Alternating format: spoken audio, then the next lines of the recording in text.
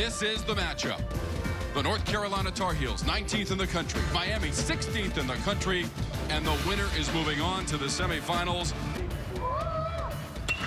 Right field. Fair ball into the corner. Lala's going to score easily as he saunters home. And pulling into second with an RBI double is Freddy Zamora. Down the line, fair ball. Off the barrier. It's going to score a run. Zamora comes in. Del Castillo, the third double of the inning for Miami. Backhanded play. Busch. Love was covering. What a play by Busch going to his right. Nice job getting the glove to the ground, and then he doesn't panic by hitting it to the left side. Just on a bunt. This deep to right. Forget about it. Is why they don't do it. Shift or not.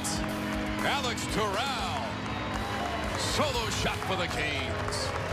Home run number 22 on the year for Terrell.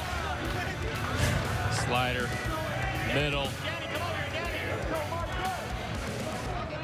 If you got that kind of power, that's why you don't bunt. I don't know. this is deep center field. Brandon Martorano is gone yard. Solo home run from Martirano. First pitch fastball. Dead center field. Beautiful swing. 416 feet. Six strikeouts in the game for Miami pitching. This one deep to right. And it's gone. Michael Busch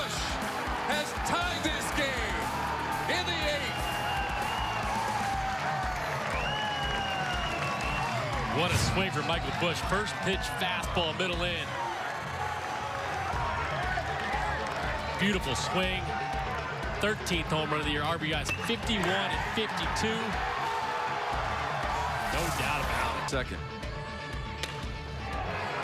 This is to left field.